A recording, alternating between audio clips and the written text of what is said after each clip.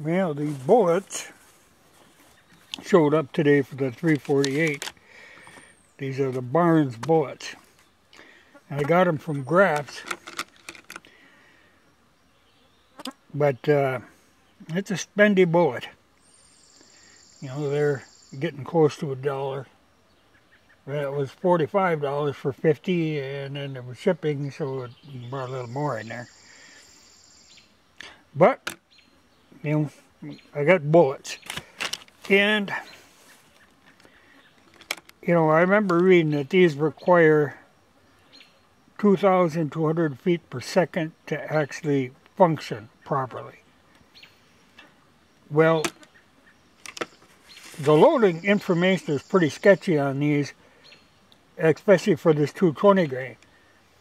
But I found in the in the Lee deal here the the right information that I needed, and in theory, these that I loaded up should be a little over 2,400 feet per second. So we got a little margin there, but we'll see uh, when he brings the gun up, we'll play around with them over the chronograph and see what they're actually doing. And I'm curious, he, he was getting desperate and he ordered in a couple boxes of that buffalo bore 250 grain.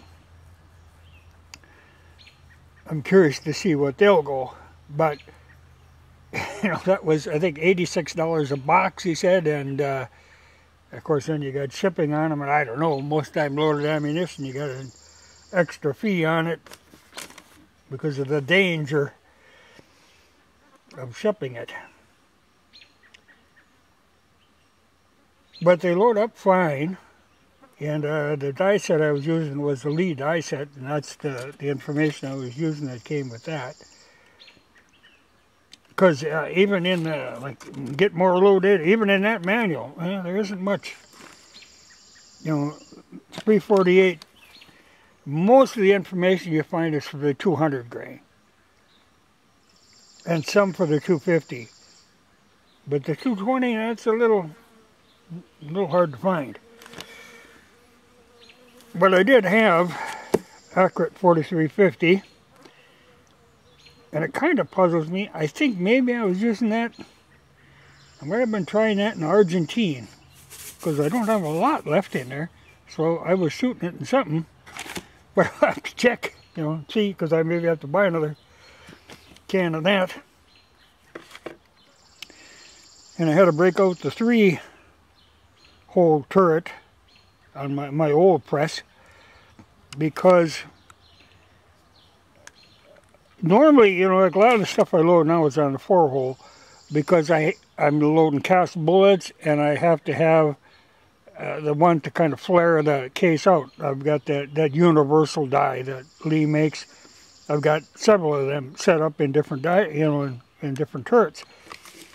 Now with these jacketed bullets, I didn't need to use that, so I went with the three hole. But I have found no information, published information on loading cast with 348. But like I say, 1 and 12 twist really not conducive to cast. But I have been thinking, and I'm going to try. This is the the 200 grain bullet for my 35 Remington. Now I size that modified mold where I cut the gas check base off it. So I got a plain base that I, and it's uh, what 175 or something grain that I use in my 351 Winchester. Well, I made a sizing die to bring that down by grinding out a 338 sizing die. So I'm going to have to run one of these full-sized ones through that and see what I get down to. Because it would be possible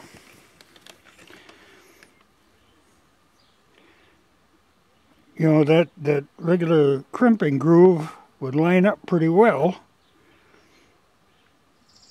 You know, I think I could use a, you know, a light loaded cast bullet for playing around with that gun. Uh, because it, you know, dollar bullet that just would burn me, you know, for that. Uh, I'm not into that. Of course, that like that Buffalo Bore, getting close to bucks a, a shot, that is not my kind of thing either.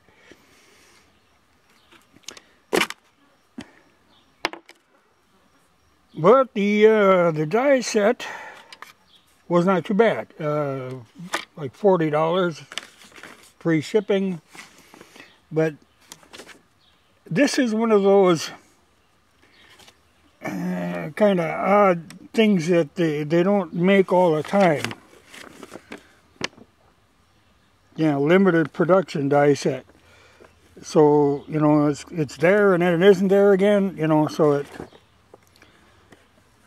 uh, I was lucky to run into one, but it came from an outfit in Minnesota for sportsmen that I have bought a lot of Lee stuff from. I like it because they're not far away, so it comes really quick. And they're always, always really reasonable on their prices. You know, if you buy Lee stuff from Lee, it costs you a fortune.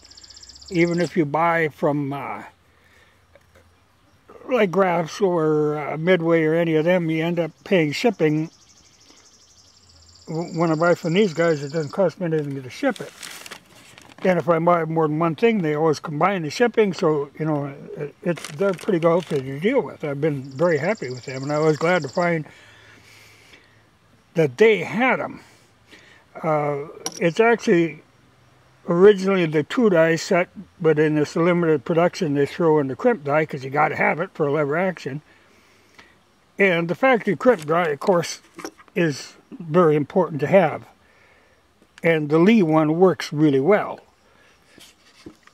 But for a lever action, you got to have that good crimp on them so you don't collapse them. And this Barnes bullet is a good big flat nose bullet, you know, uh, but I would like to see it about half the price of it, what it is, but, but you gotta live with what you can get. But we'll see now, I'll have to check if I got a battery for my chronograph. I've used it for a while, but I want to chronograph that 4570 stuff too, you know, that cowboy stuff, so uh, I'll have to maybe run time to get a battery It takes a little 9 volts and I don't carry them on hand. Or I might have a spare. I sometimes do tend to. But this it'll be interesting to shoot that. You know, they loaded nice. Uh, the only thing, you know, I measured with the, the scale, every one, because the dipper that comes with the set and this powder would measure very accurately with the dipper. You know, it's a little short stick powder. Uh, but this is a 3.4.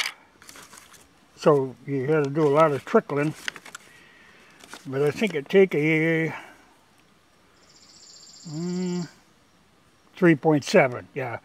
And I should have, I just, I was doing it out here and I didn't want to run it in the house and dig that 3.7 one out. But that would have made it a little easier because I'm sure you could very accurately, you can very accurately measure with these. You just got to find the right scoop. You know, some powders are hard to measure, but this stuff measured very well. You know, like I say, it's a uh, a stick powder, but a very short stick powder. You know, it's really easy to work with. Got to figure out what I was using that in, though. Had to be something. But I've got a lot of powders on hand. I just don't, you know, accurate is not one I normally use, so it had to be a special deal. And that sounds like it could have been on that Argentine. Or when I think of it, it could have been maybe the Swiss. I don't know. Well, I'll probably have to buy some more just to be on the safe side because you can't run out of it.